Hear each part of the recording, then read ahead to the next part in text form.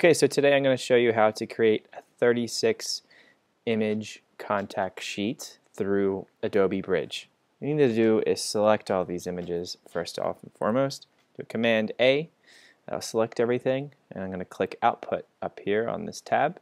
If you don't see Output, you'll need to click this arrow up here in the right hand corner, go down to Output. So output basically means that um, we have two options. We're going to output the, these images that we have selected to a PDF or to a web gallery. It's really important that the images are selected, otherwise you won't be outputting anything. So if you have two images selected, it's going to output two. If you have 36, it's going to output 36. So we're just going to work with the PDF today, um, and you can experiment with web gallery if you'd like to. Basically, we have to create this contact sheet on an 8.5 by 11 sheet of paper um, and we're going to make that contact sheet be vertical. So it's going to be portrait, to click portrait, and making sure the page preset is US paper. So 8.5 by 11 portrait and the quality should be 300 ppi over to a 100 and make sure your background is white. Okay, second most important part, I'm just going to kind of minimize this document for now.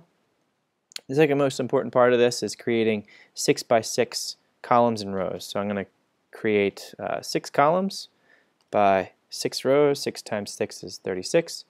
And I'm not going to have a half inch horizontal spacing. I'm going to have a 0.1 inch horizontal, 0.1 inch vertical spacing. Okay, the next thing is down here in overlays, and making sure that file name is unclicked. We don't want to include a file name. So now I'm ready to, I'm just going to refresh the preview just to kind of show you what we've done. But if you're already, if you're already at this point, you can go ahead and just click Save. And I'm going to name my PDF. So click Save. It's going to process those images gives me a dialog that says it's been done. Go back to Essentials and come down here to the contact sheet and I can hit spacebar to preview it or I could just open it in Photoshop. So I'm doing a right click, open with Adobe Photoshop CS5. It's going to pull up this dialog and what I want to do is instead of sRGB we'll just do RGB color right because sRGB is for web, RGB is for printing. I'm going to click OK there we go.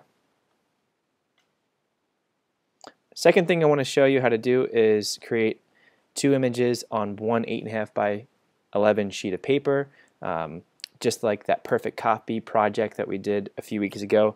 So I'm going to go ahead and select two images. I'm going to hold Command, select one. I'm going to pick another one that maybe goes with that. I'm going to click this one. So Command, you can click two at a time, uh, and I'm going to go to Output. And now my previous settings of that contact sheet are still here.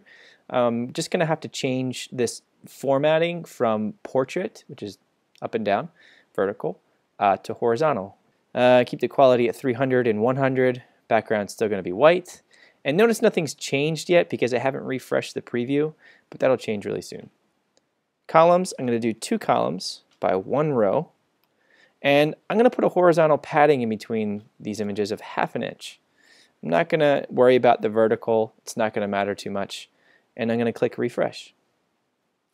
It'll process those two images, put them perfectly in the middle of this 8.5 by 11 sheet of paper.